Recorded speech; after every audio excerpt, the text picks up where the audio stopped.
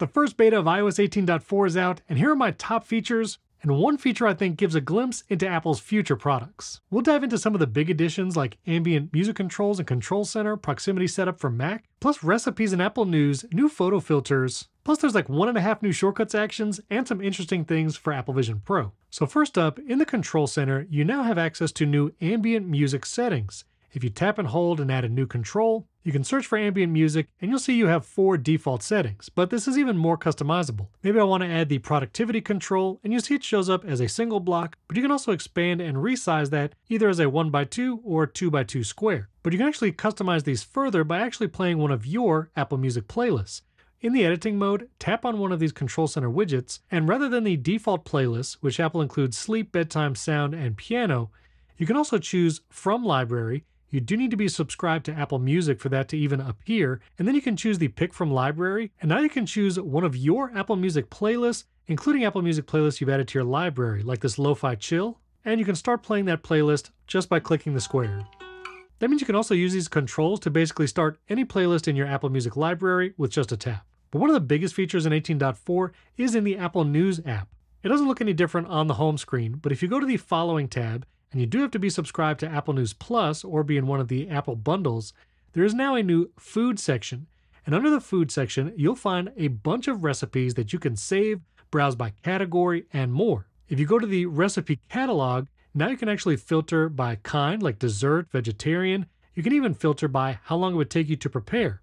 So you can look for 30 minute recipes. You'll also see your saved recipes here. You can browse new recipes, and when you tap into one, You'll see the save button here. That'll save it to your saved recipes. You can share a recipe, but the recipient has to be on 18.4 or newer. Now, if you scroll down, you actually get a nice ingredients list and then the step by step process to actually cook it. It's a really nice layout if you use this on an iPad, perfect for maybe iPad mini, where you have the ingredients in a sidebar and then the directions to the right. Now, if you ever want to see all your saved recipes, instead of the recipe catalog, you can go to Saved Recipes and you'll see everything here.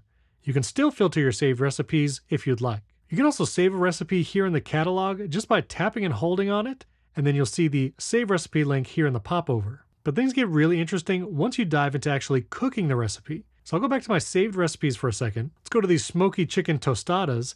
And if you're actually ready to start cooking right now, you can tap the cook button here. This almost goes into a Apple Music lyric view, and now you can go back and forth between the ingredients and you see the list there, and then over to directions.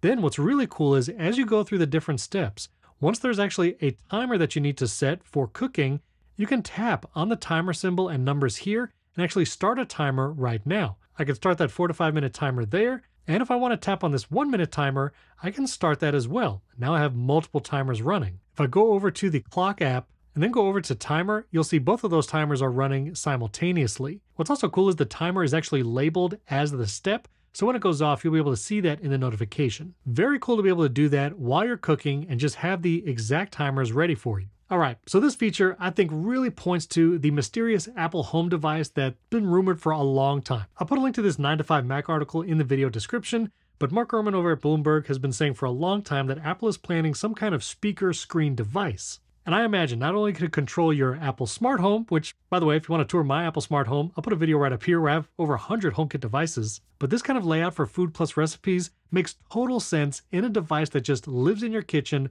with a screen. You can set timers, it has a speaker attached. I think we're really close to seeing whatever this device is this year. And yes, I will be getting one. All right, we'll come back to those Apple News Plus recipes in a second, but feature number three is in the Photos app. When you're looking at your Photos library, if you want to filter, you tap the little arrows down here. You can go to the filter option, and these options have been here before, like being able to hide screenshots, but now you can see a new shared with you. This is new in 18.4. Tapping that, you'll see just the photos that have been shared with you. You see a little messages icon, meaning you got these photos in a text message, and you'll also see who it came from up here, where you can actually jump over to the conversation when you tap that. Number four, next time you're setting up a new Mac, that proximity setup you usually see with Apple TV and also when you add an Apple Watch, will you'll be able to do that with your Mac. Scan the little Oort cloud there with your iPhone, and your iCloud and Apple ID information should automatically carry over and speed up that whole setup process. And there's a bunch of small features coming, like mail categories actually coming to iPad. You actually get the little circle for that verification code timeout in the Passwords app, new Apple Podcast widget options, and I'll put a link to this Mac Rumors article in the video description if you want to read all the changes. But number five, we finally get one and a half new shortcuts actions. The first action actually has to do with messages. Now, if you search for messages actions, open conversation is a new option here, and you can do one of two things. You can tap and hold and actually ask each time. So when you run this shortcut, it'll ask which message conversation you actually want to open, like Taco Tuesday, and it'll go to that. Or instead of ask each time, you can actually select one of your conversations, individual or group messages, and when you run the shortcut, it will open that conversation.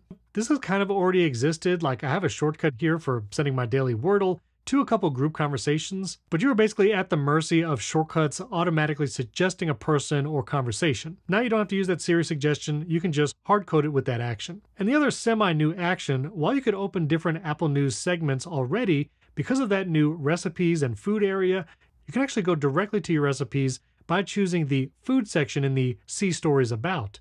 So when you play this shortcut, it goes directly to those recipes. If you want to set up an iPad with a shortcut on the home screen that goes directly here, that's a nice option. So those are some of the big changes coming to 18.4, but if you have an Apple Vision Pro, Vision OS 2.4 is actually a big upgrade. Not only is Apple Intelligence finally coming to Apple Vision Pro with 2.4, but they're also adding a new Spatial Gallery app, which is going to have curated content of spatial experiences, videos, and panoramas, photos that you'll be able to experience in one place in Apple Vision Pro. That's pretty cool. I think immersive content is probably the most compelling part of owning the headset. But what I think is even better is now you can manage more of your Apple Vision Pro from your iPhone. Kind of like how you have an Apple Watch app on your iPhone. With 18.4 and Vision OS 2.4, you'll have a Vision Pro app. This way you can actually download and send content to your headset from your phone. And the app will also have a discover area where it will surface new content and even apps that you might want to send to your Apple Vision Pro. Finally, if you ever wanted to share Apple Vision Pro with guests, you know that situation is pretty cumbersome, but you'll now be able to manage that from your device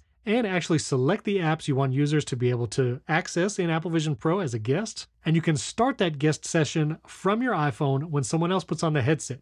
Previously, you had to put on the headset, put it into guest mode in the headset, and then give it to someone else. This should make that process much easier, so if you want your friends and family to experience it, this is going to be way better than before. So those are the big updates to iOS 18.4 and some things coming to Apple Vision Pro. But be sure to subscribe to the channel and hit that like button because as more betas come, hopefully we'll see more shortcuts actions. And I actually have a video coming soon, not sponsored, of a robot vacuum being controlled in the Apple Home app thanks to Matter and iOS 18.4. So again, stay tuned for that. If you have any questions or any features that you love in 18.4 I didn't mention here, drop them in the comments below. And again, if you want to see my smart home tour, you can check that video out right up here. And if you want to see some of my favorite new iPhone accessories like this case with no back, check out this video right up here.